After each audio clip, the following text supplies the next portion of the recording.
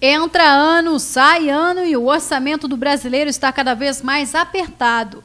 E com os preços dos recursos fundamentais para a população oscilando a todo momento, somado com os aumentos que em breve vão bater a porta dos brasileiros, uma conta de energia, sobreviver com 788 reais mensais é uma tarefa que requer muito controle. Eu acredito que eu faço até milagre, né?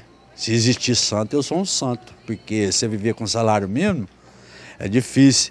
Na Constituição Federal, o salário mínimo deve atender às necessidades básicas de um cidadão, como moradia, alimentação, saúde e lazer.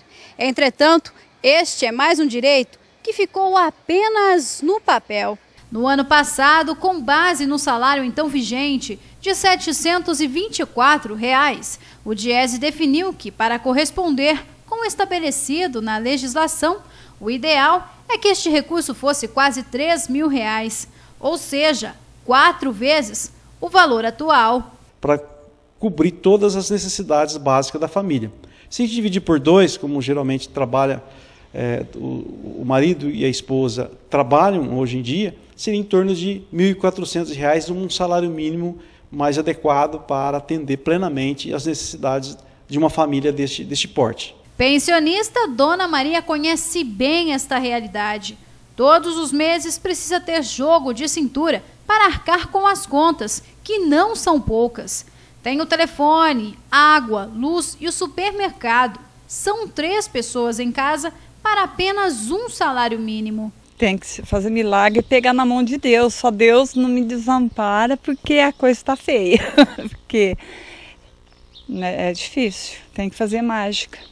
Em janeiro, o valor da cesta básica com os principais alimentos no estado de São Paulo girou em torno de 350 reais, ou seja, representa cerca de 40% do salário mínimo.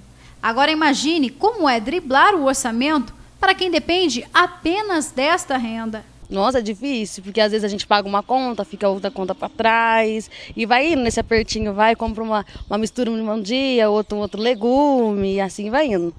Mesmo com este resultado, de acordo com o especialista contábil, na ponta do lápis, o novo aumento salarial foi maior do que no ano passado. Em 2014, o reajuste foi de cerca de 7%, enquanto em 2015 quase alcançou 9%. Então, eu entendo que é um ganho sim. E se a gente observar os últimos 10 anos, por exemplo, quando a gente faz a variação do salário mínimo desde de, de 2003, é, a gente vai ter um salário, um, um, crescimento do salário mínimo em torno de 70% acima da inflação, um ganho, um ganho real. Então, houve, houve realmente um crescimento. É claro que ele precisa é, evoluir mais. Em números, é um acréscimo de 64 reais. Ou come ou paga a conta. Tem que escolher um dos dois. Ou, ou, ou compra comida para casa ou paga as contas. Tem que escolher, né?